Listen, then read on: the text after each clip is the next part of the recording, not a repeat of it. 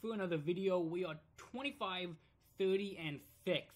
We're doing pretty bad, but we're still not really in the clear for another bottom two or three pick. We are second last in the league, but if we go on a little bit of a streak, if we have a one or two month run where we do really well, we could jump back up to not a playoff spot, but that tweener team I hope not. I'm not going to make any more drastic moves, though. We have just over a month, actually, so we can't really go on that big of a run. What am I doing?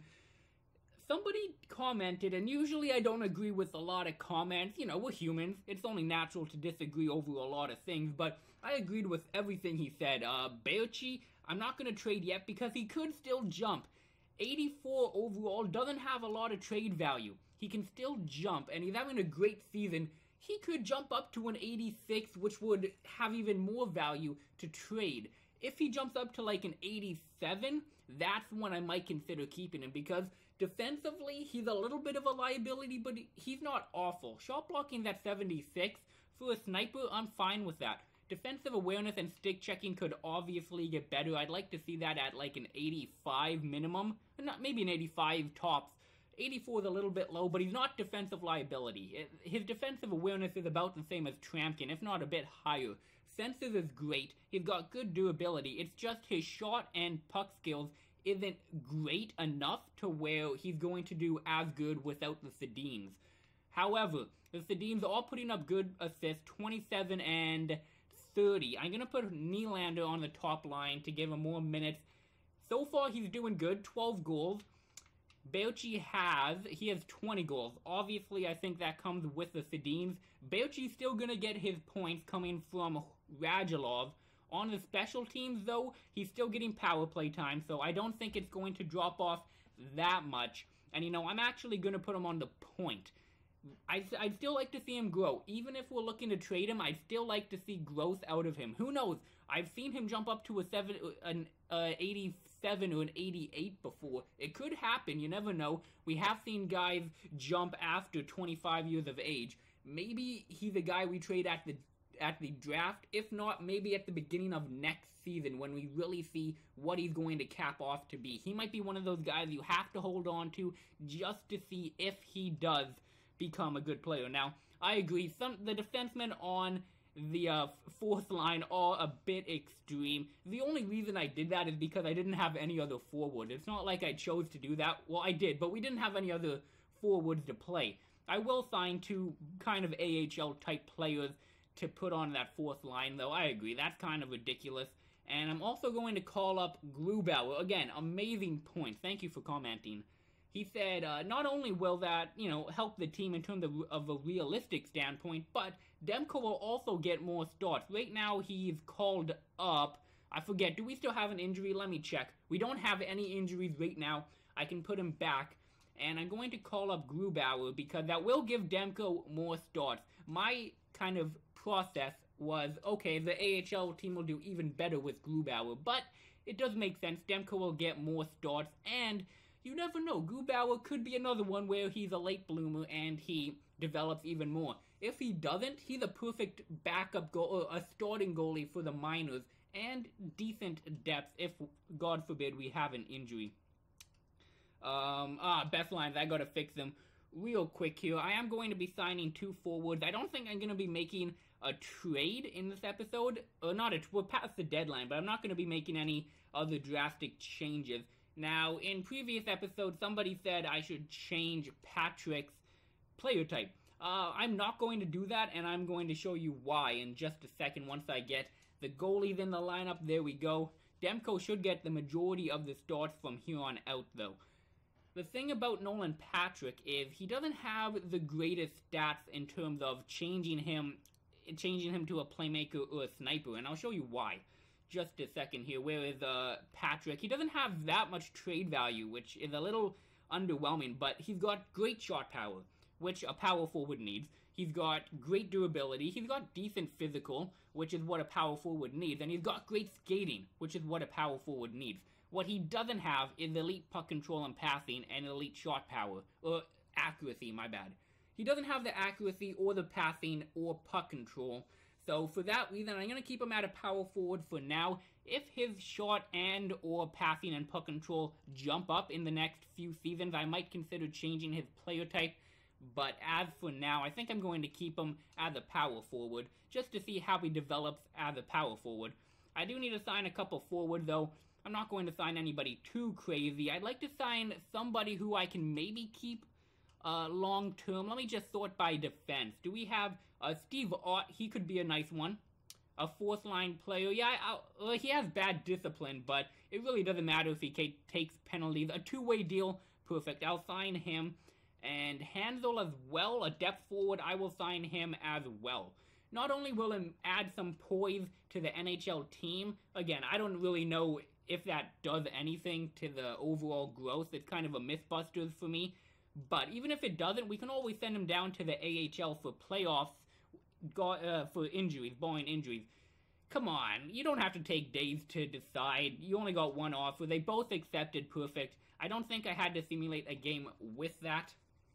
One of them wants to talk to me. I don't think it's even worth my while to talk to them, but I will bring them up. Where are they? Here we got Hanzus and we got Steve Ott. There we go. Go to the NHL team now. And yeah, I, I don't think that's going to translate to too many wins. It really shouldn't. It's not like the great players. And I probably won't keep them past this season. Who knows? I might, depending on if they drop or not. But like I said, it's even better depth for the AHL team. If we look at the AHL team, they got great depth already. I mean, multiple, multiple 80s. If one of them gets injured during the playoffs, I can just send down a Hanzus or an Ott. I'm not going to send down a Baertschi or a Nylander. I did that in the last GM mode, uh, off camera for the for the AHL playoff run, and the guys I sent down, I forget exactly who, but they were NHL caliber players, and both of them got really distraught, and the morale got fucked up. I mean, it makes sense. They got sent down, but at the end of the day, they also got sent down to have a playoff run when the NHL team didn't. I, I didn't really get that, but I guess, you know, they could take time off to work on the game even more. I'm, uh, okay, we got a loss right off the bat. Season ticket drive is set to begin. Last season, we only sold, I think, 88% of the tickets, so I don't know what the uh, head of advertising or whatever is doing, but they didn't do their job very well because we didn't sell out nearly as much as we did in Montreal. Now, I don't know if Van, I don't think Vancouver is as big of a market as a Montreal, but it's definitely a big market. I, I can tell you that from personal experience. I live here, and also in the game, and have it marked down as a big market. I don't know why we didn't sell uh, more tickets, but it is what it is. Looks like we're actually so since that move, we've uh, got points in four to seven games. I don't think we're going to tank. We might end up only having a top five pick, which wouldn't be the best because as I hear, there isn't a lot of elite players in the draft. We've got the Q scouted, the O, and the Dub. US also scouted. I'm going to do one more run through on all of them because I really want to get them scouted if it is a weaker draft. If I have to take a chance on European players in the round like three and plus, I don't think we have a second or a third round pick actually. We kind of traded up for an extra first round pick. But in the round four to seven, I might have to take a chance on that. Who do we got? Taylor Chorney. One year left, 80 overall, 0.8. Um, I'm gonna claim him again. I love claiming these types of players. Great for the AHL. I'm gonna claim him. Let me just view info, just to just to check it out. So, is it a two-way deal? Uh, it's a one-way contract. That doesn't matter. But I am going to claim him because why not? I don't think there's any positions on the AHL team for him. But again, if an injury comes up, we have even more depth for the AHL. They are 50, 15, and 3. Holy crap, they are absolutely lighting it up. I think that's a guaranteed Memorial Cup. Nothing's guaranteed, but definitely pretty close to that. Let's go to the AHL. Who do they have on defense? So they have Profio. Yeah, we can definitely definitely slide him in. Who do I want to take out? I'll take out Profier. He doesn't have as good poise. Where do we got him? Taylor Chorney. I will put him in 79, but it will jump up to an 80 once he gets a little bit more playing time. I'm not going to put him over Jordan Subban because he does have seventh defenseman potential. We may as well ride that out. Another depth of the future. It's great to have that early on to really establish that. How many games do we have left though? We have one, two, three, four, five, six, seven, eight. Only eight games left. A few against Philly, a game against Edmonton. Edmonton's out of the playoffs as well. That might be a winnable game, actually. I, I don't think we're going to be as bad as I hoped. Let me let me double check though. Chicago 105 points, Tampa, Montreal, Nashville, St. Louis. Interesting, pretty realistic. We are actually second last. Yeah, like I said, we weren't going to be as bad as Minnesota. That one little winning streak we had mid-season definitely fucked that up, but we can still jump up in the lottery. Definitely still a possibility, a possibility to get a lower pick as well.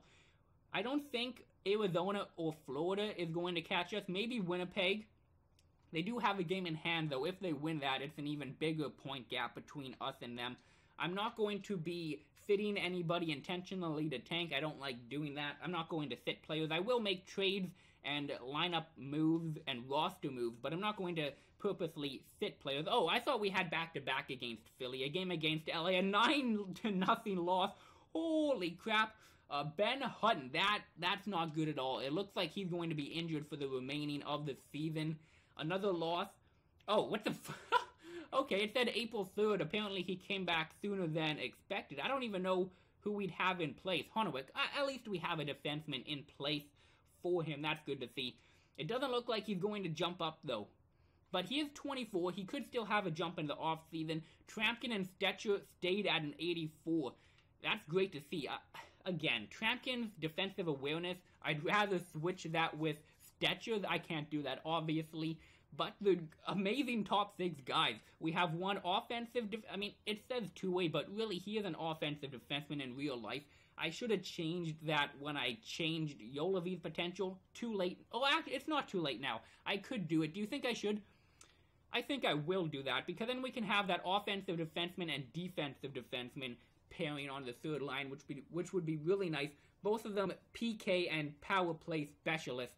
Three losses in a row. We might no, I'm not gonna say we're gonna catch Buffalo. I don't think that's a possibility. Four losses in a row. We do get a point out of Anaheim though. We do get a win. That tends to happen when you have back-to-back game, the games team. Another a shootout loss though. I don't like that. Three points in. Uh, yeah, three points in three games. Well, not three points, four points, but three of four games we got a point. Come on, get uh uh, yeah, replace player. Please get a loss, and we do get that loss against San Jose. I'm gonna go till the regular season is done. Stop the simulation. Wait, what? How did? Oh my God, man! How did you not sell out? That is the easiest thing to do in any GM mode in any game. NBA, NHL, you name it selling out tickets is the easiest thing to do. I cannot. Maybe doing that auto finance was a mistake. I thought it would just be beneficial to me because then it takes a little bit of weight off my shoulder. Team chemistry that is 64. Holy crap. Uh, I wonder who we have as leaders. Obviously, the Sedins. Yeah, both of them are leader. We have Hutton, Elias and Horvat. That's great to see Horvat. That is great to see Horvat. He lost morale because playoff individual performance. That makes sense. At least I got a little bit up from the meeting. I'm glad I did that for sure. Let's see where we finished in the league. We still have the lottery, of course, but I still want to see how we finish. I'm going to guess we finished second last. And we did finish, yeah, second last. We only finished one game out of Minnesota. So yeah, if we didn't go on that one winning streak, that one winning streak, we would have had last place on lock. If we get the second overall pick, it shouldn't hurt us too much. There's not going to be a franchise player, but if Winnipeg or anybody else jumps in first or second, that's going to suck because we are clearly the bottom two teams in the league. Clearly. Let me let me take a look at the player stats real quick. Too bad I backed out. I'm not going to take a look at team stats. That really doesn't matter. We're dead last in the league. But the Sedins did finish top of the team, 50 points. I'm glad I put Nylander up to the for the remainder of the season. He almost had a 20 point, uh, 20 goal season, which is great to see. 40 points. I think that's amazing for an 84 overall. He's a second line forward now, so he did jump up from a third line to a second line sometime in the season, most likely when playing with the Sedins. That's great to see. Obviously, he has a minus. Only a few people don't. Baertschi actually has a plus. I don't know how that's possible, but holy crap. Okay, Radulov, obviously a 50 point score. What else would you expect? Nick Shore, 80, 87 without even morale boost. That is crazy. And he's still a third liner? He's got to jump up to a second line. I don't see any way how he doesn't. But if he doesn't, I mean, a 70, an 87 as a third liner is crazy good. Uh, where's Horvat? He's still a second liner. Why can't you be the one with 87 overall? That's too bad. I do think he's going to jump in the offseason. He had a great season. Sutter, again, 85. That's interesting how he's a second liner. I'd like to see, if anything, I'd like to see Shore as a second liner, but whatever, it is what it is. Let's go to defensemen. Take a look at Stecher. Gudbranson had 20 points. Stecher had 20 points. That's what I'm saying. I think he should be an offensive defenseman for sure. And he doesn't take the penalty minutes, which is great to see as well. Tryamkin, only 8 points, but again, he's a defensive defenseman. It's really hard to manage how he's doing unless you look at the PK, but since we were last in the league, looking at the PK won't really give us a good indication take a look at the goaltenders. How did Demko do? He only had five games played, almost a four goals against average, not even a nine save percentage. That is too bad, but whatever.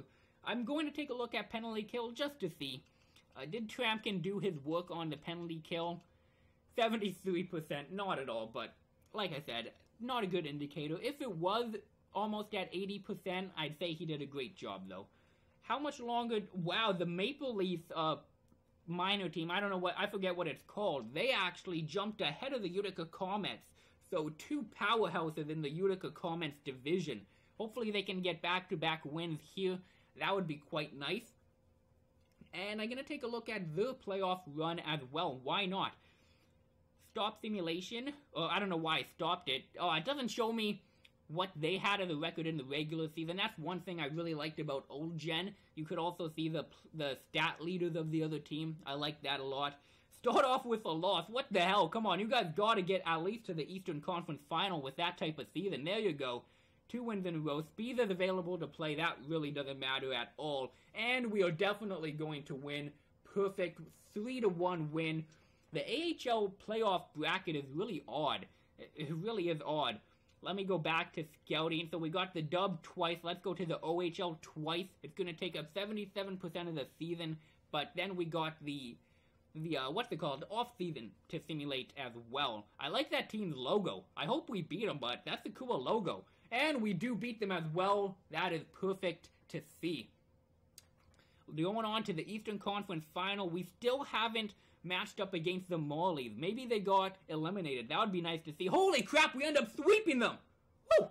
I like to see that. Holy crap. 11 and 3. We don't go up against the Marlies at all. That is perfect. That is perfect. I don't know this team's record, but we are in the Memorial Cup. Hopefully they can win it. A win! A win! An overtime loss? Oh, come on, come on. You guys gotta get. Oh, no, no, no, no, no. Come on, come on, please win. I'm gonna I'm gonna simulate it real time. Why not? Simulate the game. Push a game seven. Come on, Comets, you can do it. Two nothing win, or not a win, a four to two win.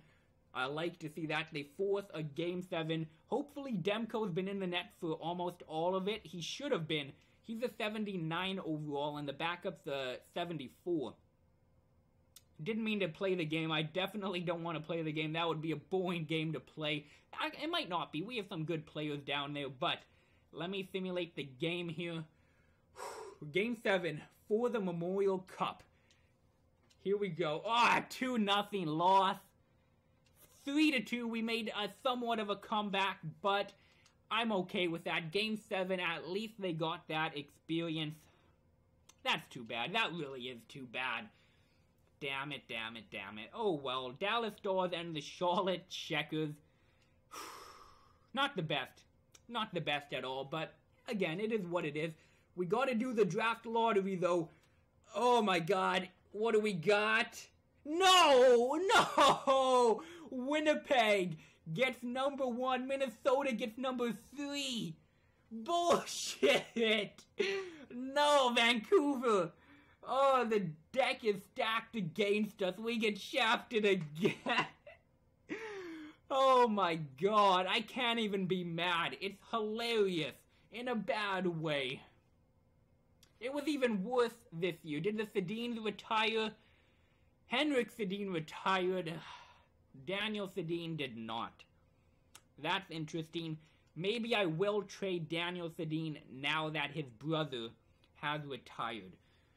I didn't want to do it because of the no trade clause, but now that Henrik's retired, I think it's safe to assume it's okay to trade Daniel Sedin.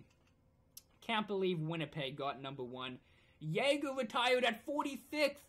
Wow, he's still 85 overall. That's crazy. Joe Thornton, Iginla, Datsyuk, Doan, Zetterberg, Spezza, Gaborik, Heatley, Camilleri, Chara.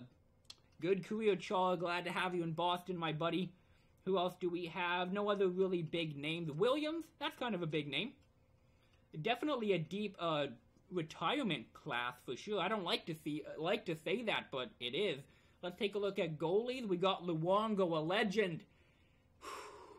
Too bad we couldn't get you a cup in Vancouver, but Vancouver will get a cup. I can guarantee that. Up at the NHL entry draft, we only got yeah, we only got to uh, go to the WHL and OHL twice, which is really too bad. If you have any suggestions on who I should trade for, let me know. Or not trade for, draft. Do you think I should potentially trade up to get a better draft pick? I don't know if I should. There is one more thing I want to do before I end the episode. Excuse me, I want to look at progress report. Got the hiccups all of a sudden. God damn it. Okay, what do we got? We got Nick Shore, who had 16. All of it natural growth as well. That's good to see, definitely. Sedin, Baertschi. Baertschi only had one. Only poise. It's a good good to see that he got poise, but too bad he couldn't have more. Again, maybe he'll jump in the off season. Gudbranson and Tryamkin. What did Tryamkin get? He got poise as well. Okay, I don't know why they're getting poise. Gudbranson did too. I don't know why, but I'm happy. Definitely happy. Let's go to the system now. We got a top six guy, Hitcher. Juolevi's at 78 overall now. That is perfect. It's nice to see his development coming along. He jumped up four overall during the season, which means in the off season he might jump up to an 80. We might have another guy to add into the mix. Holy crap, that is great. Any other uh, studs coming up? Lad the Grinder, that is 70. Not the best, but it is what it is. Patrick's at an 81. He's going to be NHL bound next season for sure. Puck skills is all in the 80s. The offensive awareness is up there. Poise again, that should come with age. Shooting is all up there again. Accuracy could definitely get better. Defense, pretty decent. Again, a liability, but I think that should get better. Skating is great. Physical got a little bit better as well. Anybody else to really point out? Not really. Oh, Nylander actually, uh, did he? He kind of grew. He kind of grew. Next year, hopefully, I can play him in the AHL. It looks like he might be a bust, which really sucks. But William Nylander, I don't know why he's in the system, but deking went up. Wrist shot power, a few defense, that's good to see. Who knows, maybe he'll develop in the off season as well. That's about it for player development. In the next episode, we got the draft. We actually have two first round picks. So I guess the bigger question is do you think I should keep both of them and just draft the best I can do, or should I package both of them to get a top two, maybe top three pick? Let me know. Thank you for watching. Hopefully, we have a great draft. I'm gaining a lot of new subscribers as well for my standards for the channel. Hello, all the new people. There's only a few of you, but I appreciate everybody that watches. I love making these videos and I like that people enjoy watching them as well. I'll catch you in the next episode.